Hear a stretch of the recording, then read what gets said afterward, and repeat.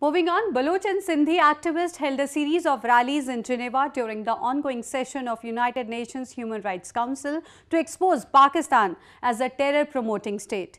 They also highlighted the issue of enforced disappearances and extrajudicial killings of people raising their voices.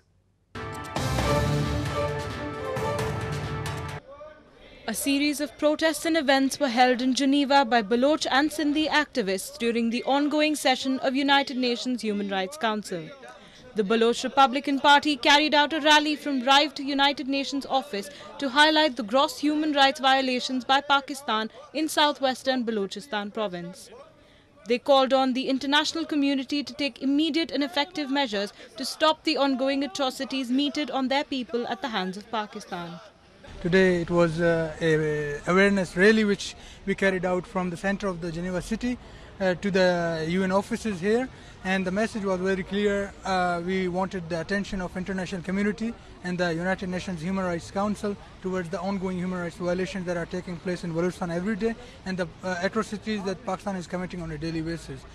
Meanwhile, members of the World Sindhi Congress also held a protest at Broken Chair in front of the UN office. They highlighted the issue of enforced disappearances, extrajudicial killings and targeted killings of political activists and Sindhi people by Pakistani authorities. We are protesting here uh, because there is a huge surge of disappearances in Sindh. Uh, any activist who raised their voice for the protection of Sindhi or Sindhi rights has been disappeared.